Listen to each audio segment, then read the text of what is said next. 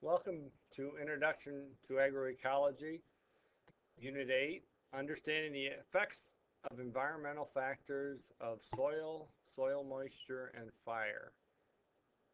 And we're this time going to talk about the effects of soil as being split into three sections. On this uh, diagram here, it's just showing an example of the different environmental factors that we will be looking at and talking about. Um, in the atmosphere, there's wind speed, humidity, light intensity, precipitation, and temperature, and looking at those factors and how they affect growth of plants. We're going to be looking at water and soil, um, the pH and salinity of that, how much moisture is in it, how much dissolved nitrogen or nutrients and oxygen are in it, and then the structure and temperature of soil. Um, very quickly, um, we're going to explain um, how soils develop and then within the development of soils, how we uh, categorize them into different soil horizons or different areas, uh, depths within the soil and the type of soil it is, different characteristics of the soil. And then we're going to look at how nutrients are absorbed in a soil. We'll talk a little bit about cation exchange capacity um, talk about soil pH, and then talk about salinity and alkalinity in a soil. Um, we're also going to try to identify different ways in which to improve the soil uh, to make it more vital and in a natural way using soil management techniques. And we're going to also explain how water moves through the soil or doesn't, as the case may be, and how we might be able to optimize that use of that water through that um, movement of water. Um, we're going to start out by looking at lesson one for soil in unit 8. Uh, we're going to look for soil formation and development. Um, soil is a portion of, by definition, is a portion of the earth that is suitable for anchoring plants. In other words, we can put a plant in the ground and it's the right type of material that it will grow and it will nourish it and it will be a productive plant for us for some reason. Um, we're going to look at the different elements of soil, such as bedrock, how inorganic and organic substances from living organisms affect that bedrock. And then once that starts affecting the bedrock, we're going to look at how air and water in the spaces between the soil particles through freeze-thaw cycles will make a difference in the composition of, of and become and come to form soil from bedrock. Um, in order to look at uh, soil, we first should probably look at what an ideal soil would be considered. It is 45% minerals, 5% organic matter, and then the remaining 50% is split equally between air and water. And kind of interesting that there's that much, you know, air and water, there's a lot of space in there that isn't, that the growing part of the uh, organic is organic matter, and that's only 5% of the soil. Um, it only becomes soil after many years from bedrock in, term, in terms of turning into soil. It's many, many, many, many years of weathering and freeze-thaw cycles um, using chemical and biological processes. So through the um, nutrients that are in the soil, the uh, that will changed it into through chemical and biotic pro, um, biological excuse me processes. Some of the things that will change how long it takes is if the bedrock is sloped, um, the type of climate that you're in, and the type of vegetative cover that you have. If we look at the physical weathering that occurs, um, bedrock is the source for all soil. Um, and with physical weathering through changes in the in with more or less water, more or less wind, the temperature being higher or lower, and then gravity moving rocks in the soil areas, that's going to all help in the physical weathering for it to change from bedrock into soil. Um, water will seep into cracks during those freeze-thaw cycles because as water freezes, it swells, and as it um, warms up, it contracts. Carbon dioxide um, from that water seeping into cracks creates carbonic acid, which basically pulls calcium and magnesium from the minerals in the rock to help form carbonates, which is part of the constitution of soil. And then it will mix different rock-sized particles to allow further deterioration. In other words, those rock particles are brushing against each other, and that will help uh, break down the into soil. Um, also, in the formation and development of soil is how our soils, soils aren't all just in, they stay in place, they are moved by different methods. Um, there's four methods we're going to look at for these particles to move from one place to another. and the important thing is here is that there's four, they, they get moved in different ways. Wind can move it, that's called aeolian soil. If water moves it, it can be, it's called alluvium soil. If gravity moves it, if it's on a slope and it slides down, it's colluvium soil. And glaciers, when the ice uh, melts and moves away, it drags soil from one place to another. That's called glacial soil. Um, looking at, there's bi biotic and abiotic processes um, that make soil develop.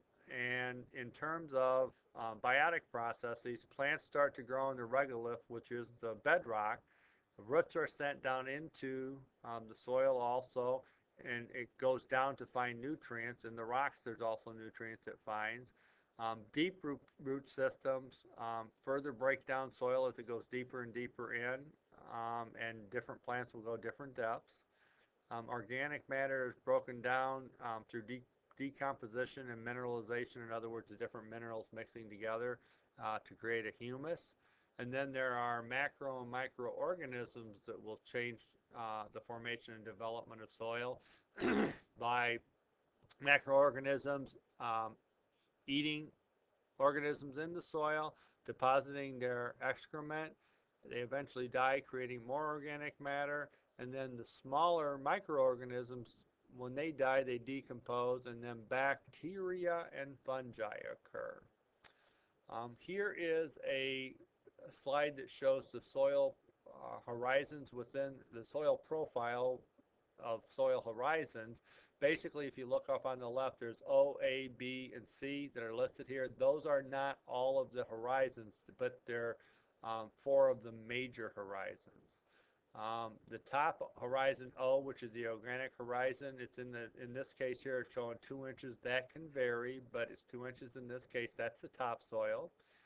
Uh, the layer underneath that is where the roots start forming on the plant, and that goes down in this case to about 10 inches. That can also vary. That's called the surface horizon. So it's not quite topsoil, but it's not uh, quite subsoil either. the B area is the subsoil, and that goes from about 10 to 30 inches in this example. So from 10 down to 30 inches, and you can see the roots go all the way down to, in this case, to 30 inches, and then from 30 to 48 inches, it um, is more, it's called the substratum, but it is not really soil that anything would grow in, it's it's too hard to penetrate for for most roots.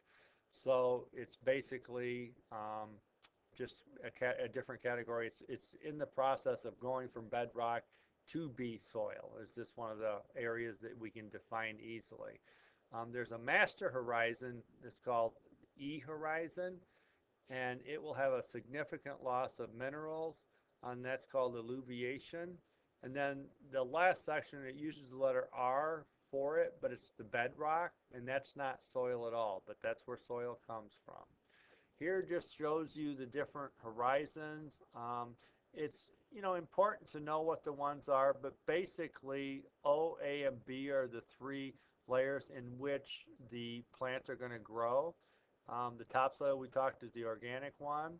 Um, all the minerals um, that'll be mixed with humus are in that. So all of the NPK in that is what's going to be in that area for as long as it stays there, and that's where it's going to be pulled out of.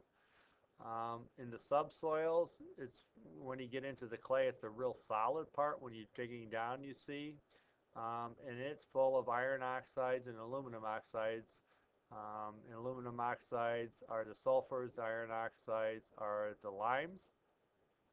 Um, substratum is that area belie- below the uh, soils, and it's the least weathered and it's the highest bulk density. In other words, the pieces are the, the, the largest.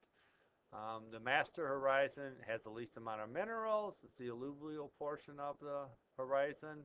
And then there's bedrock, which is that parent material, and it's not considered the part of soil. The soil texture triangle is um, all soil is made up of three components, or can have can be made up of three components: clay, silt, and sand. The percentage of each one determines the type of soil or the texture of the soil that it is. For example, if you have 100% sand, and if you look at sand, it's the bottom one, so it starts at no sand at all over on the right side over to 100% on the left side. So you can see if it's between 90 and 100% sand, it's considered sand. If it gets to between 80 or 75 and 90% sand, but then another portion, if we looked here, it's above 10% of, um, hit the wrong button, sorry. If it's between um, 10 and, oh, I suppose about 15% is called a loamy sand because of the portion it has from each of the areas. It has sand and then it has some of the silt. And if you go over here in the middle, that's where it's um, basically a 50-50-50 proposition percentage-wise. But how it works is if you look at silt, that line goes straight across. So 10% goes over to 90, 20% goes over to 80. And I'm just doing it to show you where it kind of goes to. So you just draw a line across there. If you're looking at clay, it goes at a 45 degree angle from the top to the bottom. Okay. If you draw those lines, the intersection, and then the bottom for sand goes from the bottom left to the top right at that angle, about a 45 degree angle. Where those intersect, if you look at them, that's how you can determine which of these areas of this triangle that you're in. So for instance, if you have clay, you're somewhere between 50 and 100% on clay. Okay? If you look at silt, you're somewhere between 60 and none. And if you look at the sand, you're somewhere between 45, I suppose that's a rough guess because it's, it's not quite at, at, or I should say 55, um, and 100% because that's that whole area and where those intersections would happen. But if the three lines intersect there, or they don't have a line because it's at 0%, then that's the type of uh, soil texture that you have. And that'll take a little bit of getting used to, but it's just based on the percentage of soil. And, and there is a process you go, we are not going to cover it in this class, but you actually take soil, you mix it with water, and you let it settle down. The larger um, particles will go to the bottom, the um, silt will go, or the clay will go above that, and the silt will be above that, and then you can look and just see what percentage of the total uh, of the soil you have and which one it is, and that's how you decide what type of soil you have. Um, the importance of this um, is that when you're looking at it, when you want to grow things, the best soil is something called loam, and that's what consists of uh, equal amounts of sand, silt, and clay. So that's 33 and a third percent of each one of those components, and that's what's considered loam. And that's the richest, it'll hold the best nutrients for the proper amount of time, and plants will grow the best. Um, in soil structure, it's the way in which those particles, the type of textures, are held together. Um, the particle sizes tend to increase as we go deeper into the soil profile. So that structure will be a little bit different as you go lower. Um, but a basic test for agricultural soil, in other words, what you're going to grow in, is you take a clump of that soil and you crush it in your hand. You put your hand together like a fist. And then when you have it together, if you can use your thumb and it breaks into crumbs, it has something that it calls good crumb structure. And if that exists, then that's good, um, generally agricultural soil. Uh, you need that type of stuff, and that's what holds the plant in. If you don't have that, it's not going to hold it in as well. Um, types of different soil structure. It's basically just the different shapes you have. Um, when we talk about crumb-like, it has something that it calls good tilth, and that's the ability to break apart. Um, but it can also break apart too much because if you look at semi-arid, if it's prismatic or columnar, it's in the arid region, the sandy type soil. And in, in that case, um, what basically their the article are the particles are so large that nothing stays in there and it runs right through. In other words, it won't keep its form when you crush it, especially if it's dry. It would be better when it's wet, but it would fall apart real easy when you got uh, more wet on it. Um, platy, everything, it's present in all horizons. There's a certain amount of, of platiness, and it's just the round disc shape in which the soil looks like if you looked under a microscope. It's not so important to really understand um, and remember all of the different types. Um, what's important, because you're never going to put it under a microscope, it's just important to know there's different types, and that's why water and nutrients stay in different fashions in different ways in the different types of soil. Um, soil color, it's important only to identify how much organic content is in a soil. It doesn't mean that if it isn't a dark color that you can't grow good plants. It just means that there's more organic content in darker soil than there is in lighter soil. Um, and generally that provides for the better nutrient, uh, uh, the ability to carry nutrients or keep nutrients in that soil.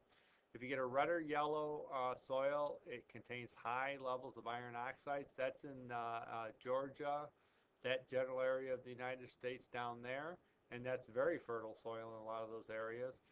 If you have gray, yellowish, brown looking soil, it might mean you have poor drainage and it's just so sopping wet with water. And if you've ever looked in an area where water stands all the time, you'll see that, that color look. You can also have a white light colored um, soil, and that's um, basically con- contains a lot of quartz, gypsum, carbonate. Gypsum is um, wallboard that we have. The um, that we have gypsum board, they call it drywall. Um, but basically, it just helps a farmer decide how or what they can plant. Um, looking at a soil, you can tell a lot about it. The cation exchange capacity. Um, basically, what that is, it defines how the minerals within that soil are going to be able to be dissolved into a form that's usable. Um, basically, nutrients are either positively or negatively charged. And where that becomes significant is if you have clay or humus soils, there's those plate-like structures we talked about are negatively charged. So what that means is positively charged nutrients are going to be what stays in the soil longer and could be potentially used longer. Um, the nitrates and the phosphates are the negative. Negatives uh, will not attract each other. And basically what that means is that's why nitrogen and phosphates go and leach out of the soil real quickly because they're the uh, negative charge as opposed, and, and so is uh, uh, clay, so it doesn't stay because of that. Soil acidity and pH. Um, soils are measured um, using a pH scale that goes from 0 to 14 um, with seven being neutral. That's right in the middle. It's on a logarithmic scale. Um, we can, the old way of doing it, and you can still do it that way, is using litmus paper, and you put some soil inside with the solution, and you mix it up, and then you put in the litmus paper, and it comes out a certain color. Based on that color, it'll tell you what the pH is, whether it's acidic or whether it is alkaline or basic. Um, non-acidic is another way you can say it too. Basically, if you go from 7 down to 0 on the left side of the scale, the closer you get to 0, the more acidic your soil is. Most plants will not grow at all in acidic soil. So uh, there are some plants that do like it, and you just have to look that up on what type of plants like it too. If you have acidic soil, either you plant plants that like acidic soils, or you amend the soil to change the pH to get closer to 7. Because most plants like to grow in the 6.5 to 7.5 range on the pH scale. If you go from 7 to 14, the right-hand side of the scale, that is where it's more increasingly either alkaline or they call it basic. In other words, it's not going to affect it as much, but if you get too close to 14, plants will be affected in that there's certain nutrients that won't be used, so they won't grow as well. So, like I said before, you want to be in the six and a half to seven and a half range. That's the optimal area for most plants to grow. Um, salinity and alkalinity. Um, salts in arid and semi-arid regions build up in the soils because they don't get enough rain. Therefore, they generally use a lot of irrigation. And when they do, when the um, irrigation is put on, as the water evaporates, the salt solids are left. Eventually, you have a soil that has too much salt in it. When you do, um, it creates a soil that's not very good for growing anything at some point. So there are points you can wreck your soil. What you'd have to do is get rid of those salts, which is a very, very difficult uh, process to do. Um, when you have alkaline soils, you can have plant development difficulties because the mineral uptake we talked about that cation exchange capacity. It gets into the wrong range and therefore it's bound up. It won't let it go. Therefore, even though you have it, it won't take that. The plant cannot take it up based on the pH or alkalinity and it will not be used. So you have development difficulties for the uh, plants. Um, on ways in which we can use soil management to improve fertility, um, by constantly adding amendments or additions to your organic uh, other organic matter to your soil. By doing that, it will help um, get a uh, improved fertility for your soil. Um, ways you can do that is you can keep the crop residue. In other words, when you harvest the plants, instead of um, taking out the corn stalks, let's say for instance, when you chop them up, you just leave them there and you use them for providing for more fertility, nitrogen. You can use cover crops that will add nitrogen back into the soil through the roots. Um, you can apply manure or sewer sludge, basically the same thing, um, that will add nutrients back into the soil. what you do have to be careful of when you're adding uh, manure that converts to nitrogen, if you put too much on, you could be uh, burning what crops you have because you have too much nitrogen in that soil. Um, you can also use compost, compost from farm waste or even around the house and yard. It could be grasses, leaves, that type of stuff. And then you can also use no-till practices where you can increase the fertility of the soil um, that you have. And this is a list of the attributions for this unit.